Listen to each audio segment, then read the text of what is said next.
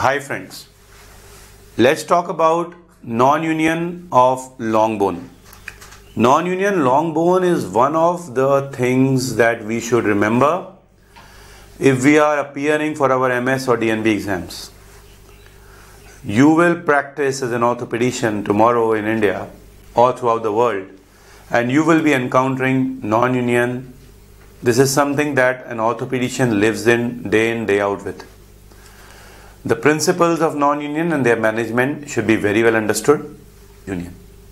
How do you classify non-union? So there is an Umarov's classification which says normotrophic bone without shortening is type 1. Type 2 is a hypertrophic bone end with shortening. Type 3 is an atrophic bone end with shortening. Type 4 is atrophic bone end with soft tissue defect usually with a shortening. So you are going to a normotrophic bone without shortening, hypertrophic non-union, atrophic non-union and atrophic bone with a soft tissue defect. So when there is a non-infected non-union, so Weber and Cech modified the Muller and Judet and Judet classification systems. So what is the Weber and Cech classification for non-infected non-union? It talks about viability of the bone ends determined by the strontium take. So if you have non-infected non-union, so you can check the viability of the bone ends by the strontium uptake. Now looking at whether you are having a hypervascular or atrophic avascular, so there have been different non-unions.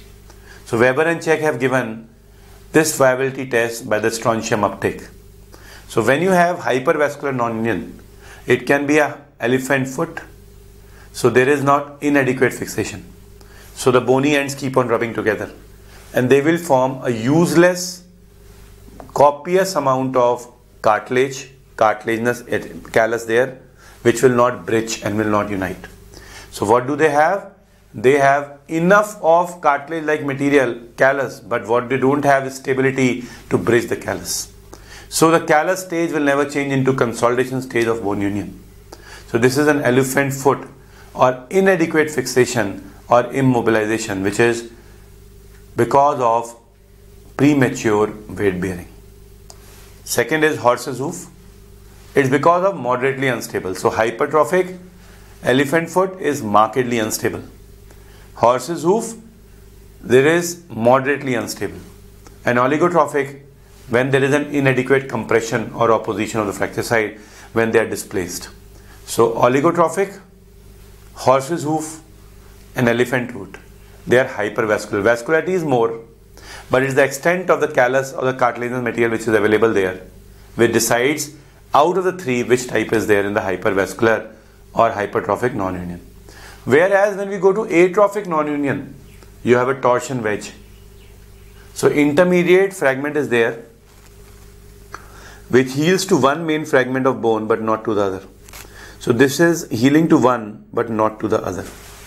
Or you can have a comminuted necrotic fragment in between which does not unite or you can have a loss of the gap or you can have an end porotic and atrophic because of the loss of blood supply.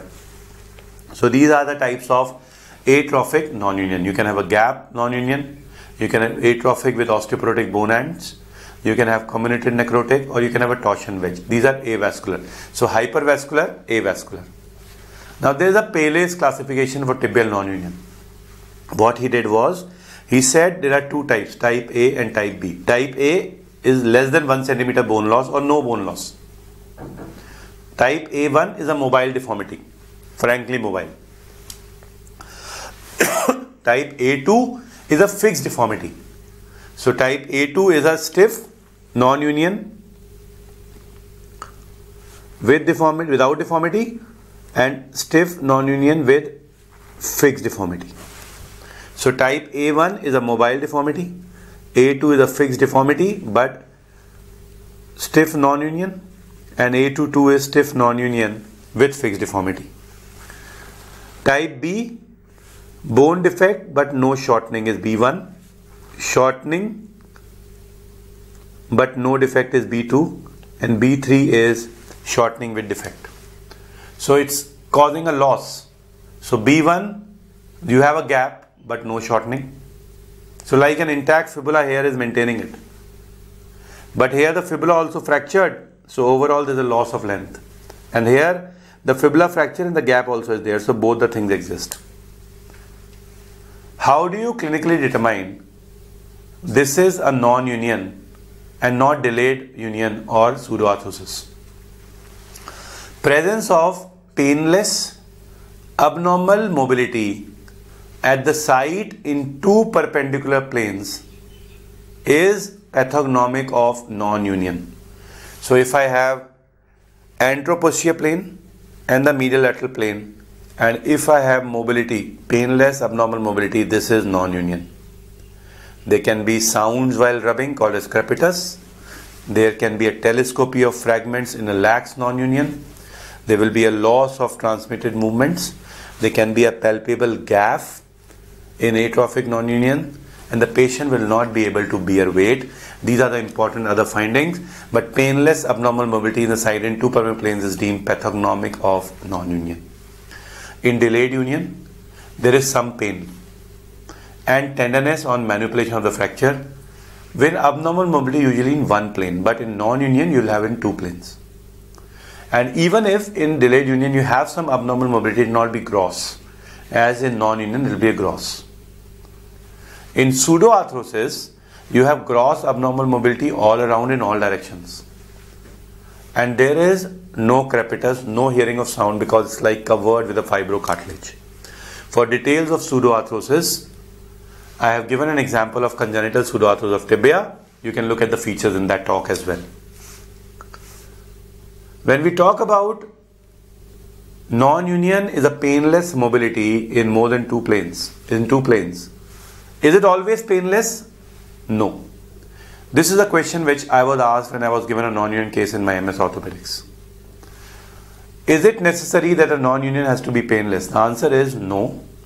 The causes of pain in a non-union are infection, soft tissue interposition, especially the muscles and the nerves which are viable, intra-articular non-unions, bayonet non-unions which are impinging on the surrounding tissues with the bursa formations and the bursitis. Infection tops the list as number one. So if you have a non-union with pain, think about infective etiologies. How do you differentiate from a stiff from a lax non-union? Stiff non-union have an arc of motion. Now these are usually less than 7 degrees and classically less than 1 centimeter defect. They are not bridged by fibrocartilage and they resist the movement grossly. Only micro motion can be elicited. Even the patient may partially be able to bear weight. They are also called as non-mobile non-unions or short fibrous non-unions. So there is fibrous structure in between. Whereas lax non-unions have an arc of motion of more than 7 degrees. They are inadequately supported by the connective tissue they are the ones which you classically say painless mobility in two planes. They are also called as long non-unions or mobile non-unions. Intra-articular, short fibrous non-unions are painful and the concept of painless non-union does not apply to them. Do all union did all unions demonstrate abnormal mobility? Will all the non-union demonstrate abnormal mobility. Not always. One example we just discussed stiff non unions. Typically, the hypertrophic ones may not at all demonstrate abnormal mobility. Also, some site specific non unions, like in diaphyseal tibial non union, where fibula is intact, that can mark